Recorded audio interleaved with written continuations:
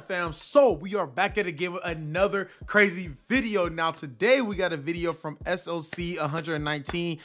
I, I don't know. Look, I guess it's like sock 119. I don't know, bro. But look, we got another video from the well. This is probably my second. Yeah, I think this is my second video reacting to them. But this is exploring white privilege. Okay, so we finna go deep.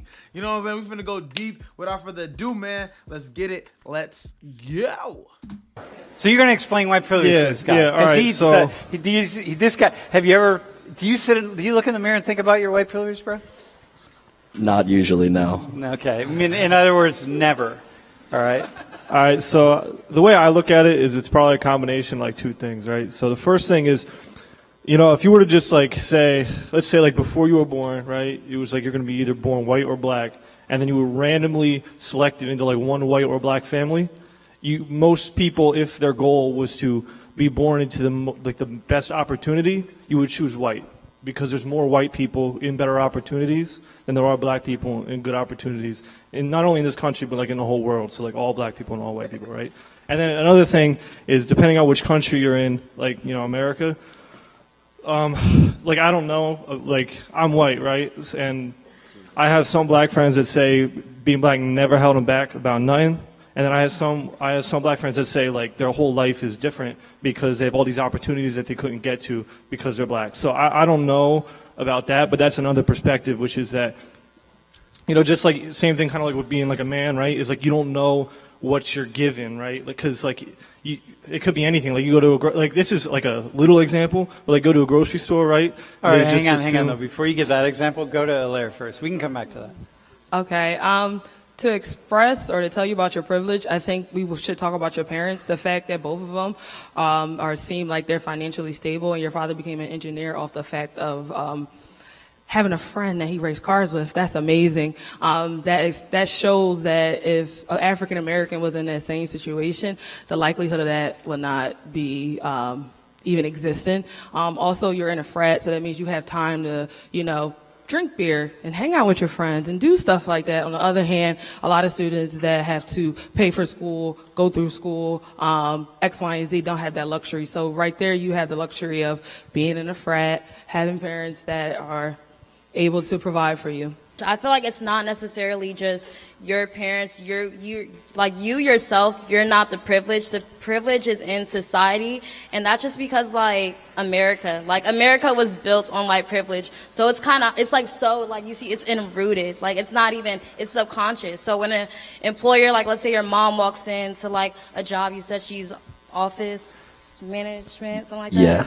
Yeah, so let's say when she walks in there, you know, she'd have the same tone, and then like someone of another look or aspects have the same tone, and the employer subconsciously is just gonna gravitate more towards her, maybe because the other person comes off aggressive, but they're doing the same exact thing, and like he just said, if someone of like another race were to say something like what what she just said, yeah, or something like what I just said in the same exact tone, it would be subconsciously interpreted another way. So that's why like the privilege comes into the way society like automatically views a certain groups. Like one group is automatically subconsciously viewed as aggressive while the other seems like, oh, you know, this is more suited for the workplace, different things like that. So it's not just like you and your family itself, it's America. And I feel like in order for us to fix like that part of America, which you know, was made in like the 1800s and slavery and Jim Crow and all that. I feel like we have to acknowledge like that it's a thing and that's like we have to circumvent it in that way. Okay.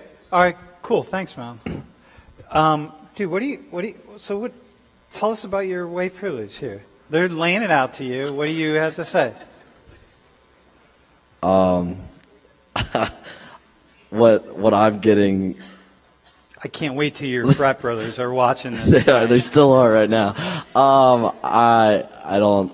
They're kind of making it seem that I was born into it, and uh, that we that us as whites have a better opportunity because of the subconscious mind.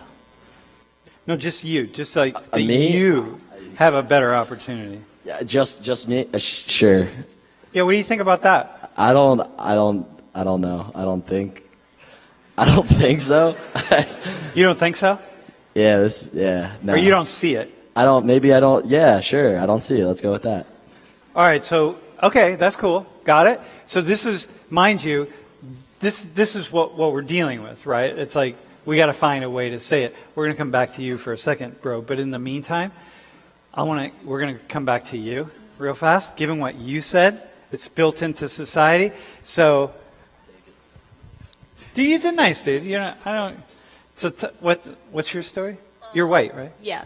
So my parents are divorced, um, and when they got divorced, my mom wasn't working. Um, so it's kind of just been like slowly working up to where we are now. Um, but even then, I would consider us pretty poor. Like we've never owned a house. We've been running pretty much my entire life. My dad was remarried, and his family like makes more money than us. But with me my sister primarily living with my mom, we I would consider us pretty poor. But Okay, so how do you how do you incorporate her into it, bro? You can join in on this. How do you incorporate that? something really quick. Because you said it's built into mm. society. Yeah, it she is must be in, living in a society, different society. But there's anomalies, like at the same time. Like I feel like white privilege and saying, oh, every single white person is like privileged, but at the same time, like factually speaking, you know, your family, not you specifically, but people in general, their families are more likely to have generational wealth just because of simply the way like America is built. Like you're built to more likely have privilege in society. bro. this is the this is the problem. This is truly the problem with my people. We talk about white people being raised or being uh, so white privilege being built in society and America being built off white privilege and all these different things and and white people are more likely to have generational wealth and things that actually did is that what she said? I just want to make sure. Just want to make sure I don't want to put words in people's mouth. Okay, so let me just make sure. simply the way like America is built. Like yours are more likely to have generational family, not you specifically, but people in general, their families are more likely to have generational wealth just because of simply the way like America is built. Like So people are, you know, more likely to have generational wealth. The the thing when it comes to generational wealth, and I don't know what this whole white privilege thing come from. I'm gonna be hundred percent honest with you. I don't know. You know what I'm saying? I guess it's because I live in Chicago, so when I see the white people out here, uh, I don't see privilege. You feel me? That's just me. I don't see it. You know what I'm saying? And don't get me wrong, I'm not saying that there are certain situations maybe in other areas where white people may get away with this or this and that, but this is not just this is not even the majority. You know what I'm saying? Because what I truly believe is that nobody's privileged in America. That's what I truly believe. Or we can put it like when I say privilege, I'm talking about privilege in the way that they speak of white privilege. Or I can say that we're all privileged in a way because we have that freedom of speech. We're all living in America. We have different opportunities. We can do this. We can do that. And we're privileged. We're all privileged in that in that in that aspect. But the way that they view white privilege, I don't believe that nobody's privileged in the way that they view white privilege. And when it comes, and like, like I said, when it comes to generational wealth, the reason why there's a lot of white people being or white children or white people or white people having kids and their kids being raised up into the the uh, generational wealth thing is because the parents the parents they set up their kids for success before their kids was even born. See, a lot of times in the black community, we don't set our kids up for success. We, you know what I'm saying, we we push them to do this and do that. Like instead of setting them up for success so that way they could start a business, that way they could do this, that way they could do that, or we start a business for them and maybe if they get older and they want to take over the business, they can because it already has a lot of money within the business. You know what I'm saying? I hope that y'all get what I'm saying because at the end of the day, bro, I want to set my kids up for generational wealth just like how some white people set their kids up for generational wealth. I could never blame a white person for being born into generational wealth. Uh, and I can't say that their parents was privileged or things like that because at the end of the day, in America, you have to work point blank period. You feel me? And i believe that we all have the same i have the same opportunities as a white person. I truly believe that. You know what i'm saying? While living in america i believe that i could go to the same job as a white person. I could do this as a white person. I could do this as a white person. Because look at it like this. You telling me that if i have all the qualifications i have all the degrees i have all the diplomas i have all these different aspects or all these different things that I need in order to get the job. And there's a white person who don't have not a single thing. He probably got like one diploma or anything like that. And the way that I look now, the way that I look, I, you know, I'm suited up. I'm looking very professional for the job. I'm ready to go. You feel me? The white person is the same way, but he don't have all the things that he needs. He don't have all the requirements that he need. You feel like they're gonna at any business job. You feel like they're gonna waste the time of training somebody who barely have the rec- uh, the the requirements, or is they gonna take somebody who have all the requirements that they need, whether they black or white? That's just that. That's how I view it. You feel me? That's how I truly view it. Cause I know that every job I done went to, every job that I done been to, I always go in professional. I always got my requirements. I always got the documentations that I need in order to get the job. You know what I'm saying? And me personally, I never got turned down for no job. No job. Every job that I applied to, I never got turned down from. I only been working at two jobs my entire life. My entire life, I only had two jobs. Now I'm a YouTuber and things like that, but I also do work too. So again, I never got turned down from any job that I had. The only reason I only got two jobs because I only took two jobs. Everything else I didn't take because I just didn't like it. That's just me personally. I just didn't. I was like, ah, I ain't really feeling this, so I didn't take the job. But I didn't. I never got turned down from it. Never. So I don't know where this white privilege thing coming from. I'm sorry, I just rambled. I'm just trying to figure out what this whole white privilege thing, because this is still a topic that we've been talking about for almost two years, three years, or just for well for this channel, we've been talking about this topic for almost two years now on this particular channel. I know this topic in America been surfing for years and decades and all type of stuff, but let's finish. You're built to more likely have privilege in society. Okay, bro, do you want to respond to her? Like, how would you incorporate her? Um, well, uh, I was also grow up kind of poor. Where'd you grow up, bro? Well, I grew up in Lehighton. It's like a small town, kind of like pretty far east from here. Okay, It's like pretty depressed town. so hot. And Okay, then- what? Depressed? Yeah, there's like a lot of like you- this. It's actually mostly white, but I mean, there's a lot of people doing drugs. This is like not a good place to grow up, and it was really bad environment. So like that wasn't white privilege.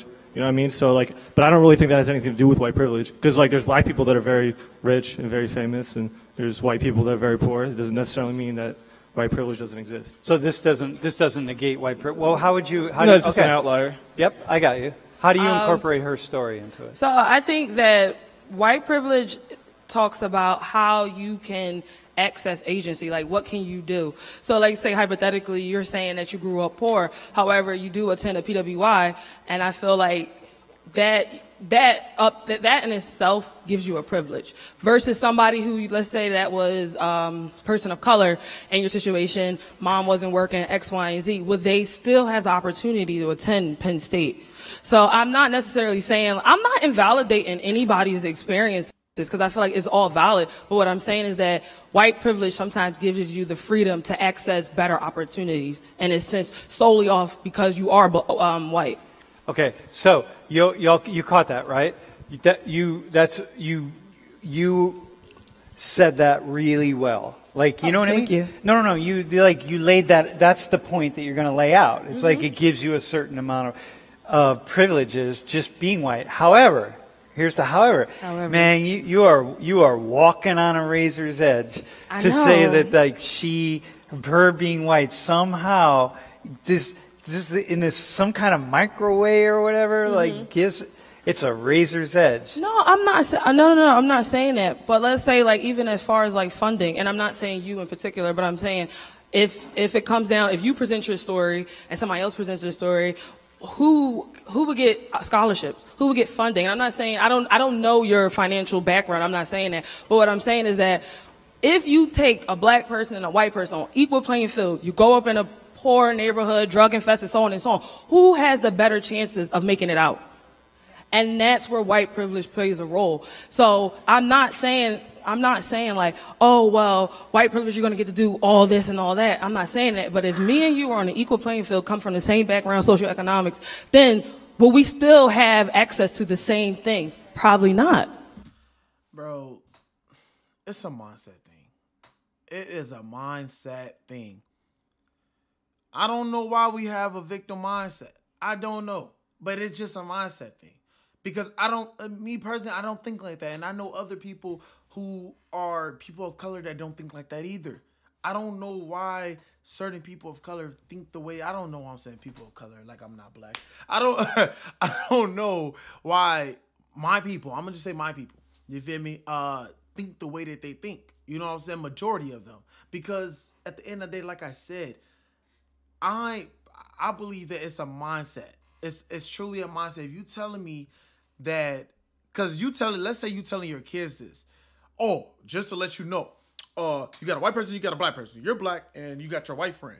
And y'all both grew up in the same neighborhood, y'all both go apply for the job. Well, well you're not gonna make it out because it's always been something like you always had the end of the stick, okay? And they're gonna make it out because they've always been privileged, or they may their mother and father may be this top. Like, come on, bro. Let let's just be real. Like, bro, you tell your kids that, bro. Like, come on now. Now they're gonna have a victim mindset also. Like now you putting that that that uh that that mindset on them when they shouldn't even be thinking the way you know what I'm saying thinking that way point blank period point blank period I'm telling you, bro, like we need to get out that mindset because at the end of the day, if a white person can do it, I know for a fact that I can do it.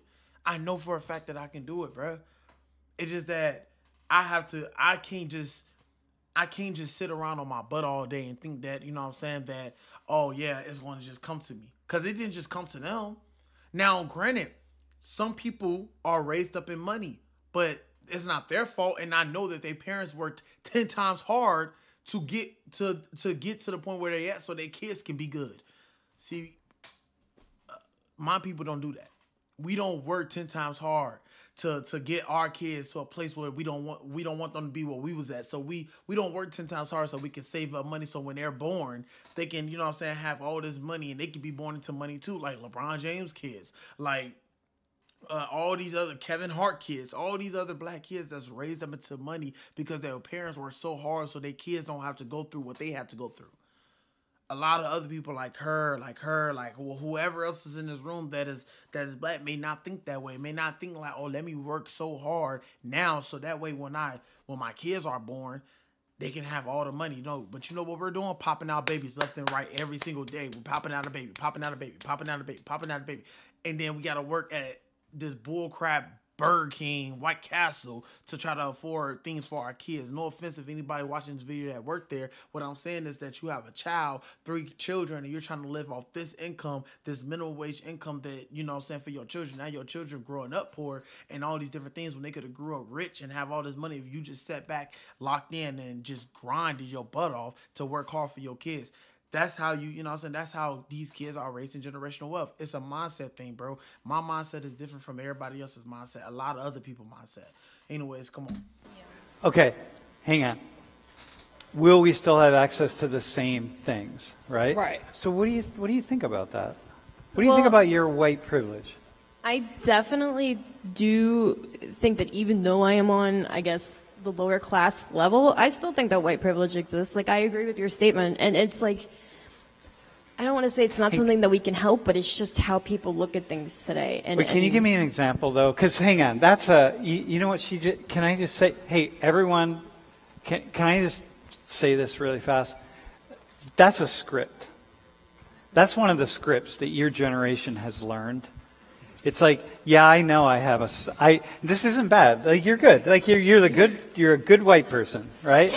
Yeah that you, you. learn you learn the script. I know I have a certain amount of privilege. Man, you could be living on the streets, eating rats for dinner, eating whatever, and you could still be like, oh no, but I got the script, but I still have privilege because I'm white. It's like, hang on a sec. To go back, give me one way in which you have white privilege. Your whiteness gives you privilege. Oh God.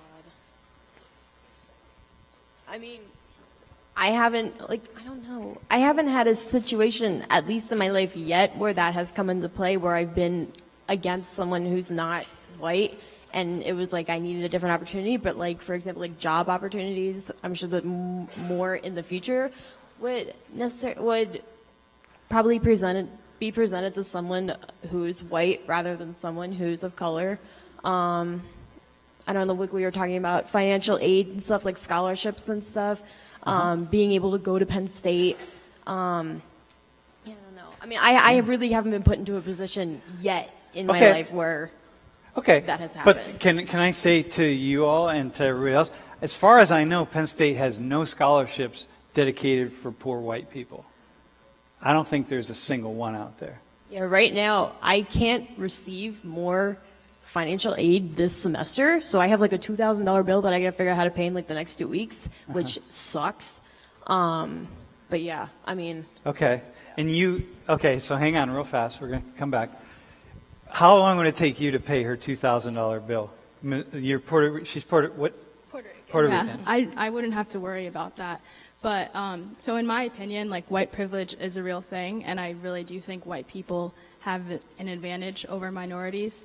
However, there also is a big divide between the rich and poor, and I think that's a whole separate issue. So- and Okay, go ahead. Go ahead. and yeah, so I feel like you're less privileged than me because, well, like I don't have money, but my parents have money and it's nice. So I don't have to worry about certain things that you have to. Like so, like how much? Money, I don't want. I don't want specifics, but like a lot of money. Your parents are really rich.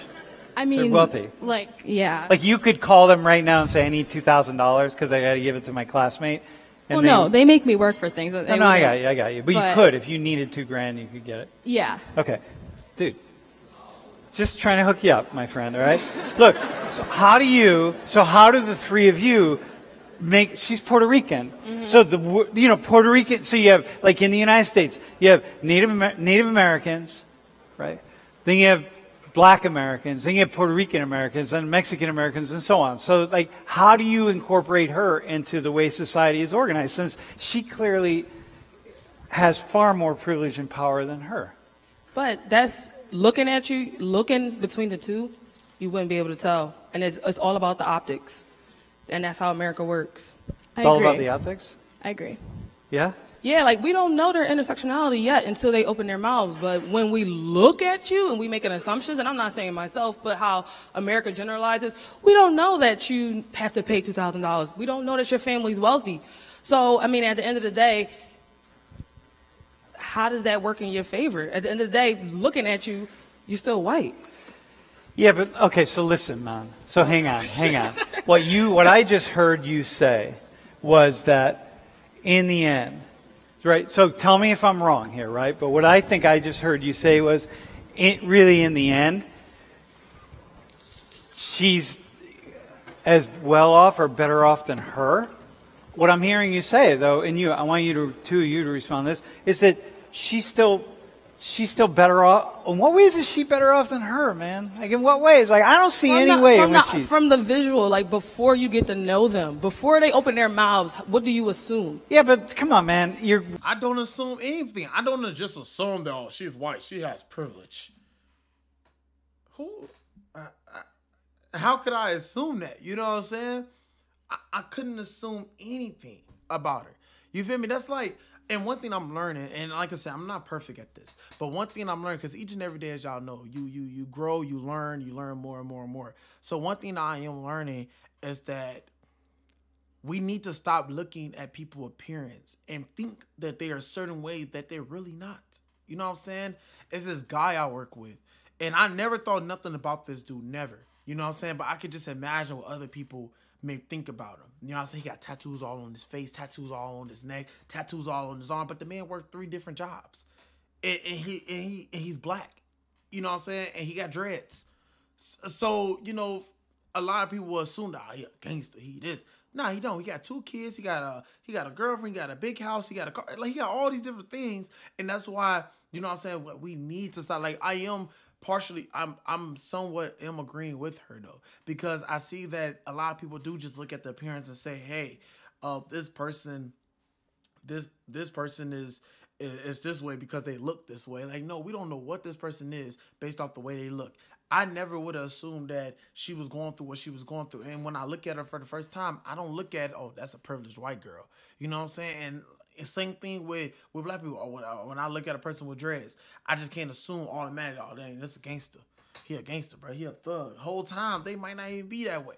You think people look at me that way, like, oh, you a gangster, you this, cause I got tattoos, I'm pretty big, like all these different things. But whole time I'm a man of God, like a true man of God. So therefore, I'm not even what people may seem may think that I am. It's like that as Americans, we need to stop looking at people and assuming what they are when they're really not that way. That's why we need to get to know them before we just start to jump to conclusions to say that they are a certain way. We need to know a person's story. we are gonna. So now what I'm doing is I'm sitting out. Okay, I'm sitting out here. All right, bro.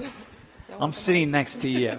Okay, or I'm sitting out here, and I'm just the average person who's thinking about this stuff, right? And I'm like, man, you have not made a convincing argument because her. What's your What's your name again? Alexandria. But Alexandria. Alex. I'm just like, Uh, Come on, man. Y your framework doesn't account for the fact that Alex's family is rich and her family. Rich. I'm just going to say. But they're rich. two separate issues. Yeah, we're talking about race and white privilege, and we're talking about the wealth inequality um, gap. Two different. Yeah, but white privilege is also about wealth and equality. They- They're all together. I don't know how you could separate them. I'm not talking about. Are we talking about? Well, she won't get followed around in a store uh, by a security guard, but uh, but you will. It's like, come on, man. White. pri- So that's how you're defining white privilege. So, so I would say open it up because we're throwing this idea around here. It's like, damn, because. Um, and by the way, I'm just put. I'm. We're now just. I'm playing. I'm just having the conversation. Like you got a lot of people sitting right here in her seat that are going like, I, I'm not, I'm not, see- I'm not getting this. And you got a lot of people sitting in her seat, who a person of color who's got a lot of money, and then we're looking at her and going like, like, dude, all the people in your town are going to look at her and be like, oh yeah, I'd rather be me, the white person, than her. How many people in your graduating class would say that? Well, I graduated from my high school. It was probably like 40% white people. I moved to Easton, which is like a little different than my uh, like hometown. Hometown, yeah, yeah, yeah. Um, there are some racist people, but most people wouldn't. No, no, no. But I'm just asking. Can you want to? Res- can you also respond? Yeah, I got you. I We're mean, gonna come. I was just gonna respond to the whole like white privilege thing. I feel like white privilege it goes in like different aspects, like she said.